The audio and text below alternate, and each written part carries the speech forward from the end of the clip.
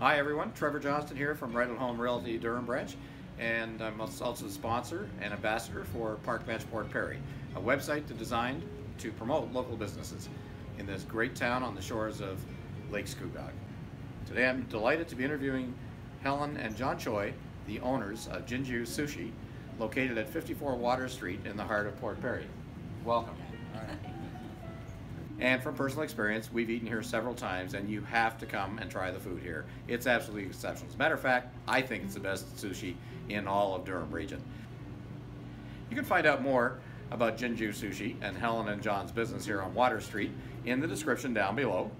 And to find out more about our team, Team Johnston, please visit us at parkbench.com forward slash Port Perry and on our Facebook, All Things Port Perry.